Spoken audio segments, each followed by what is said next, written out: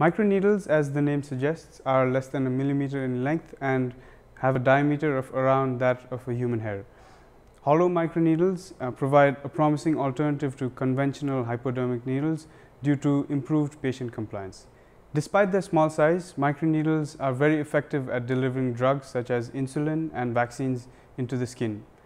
Uh, injections using hollow microneedles have been researched in the past, but uh, the dynamics of fluid flow through skin, which is a porous medium, have not been investigated extensively.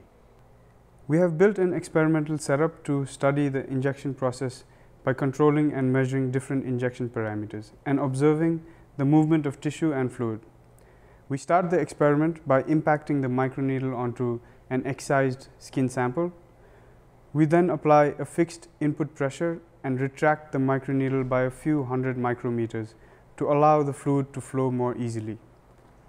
We observe the fluid being deposited and record the fluid flow rate and pressure using microfluidic sensors. In our study, we also visualize the injection process using OCT or optical coherence tomography.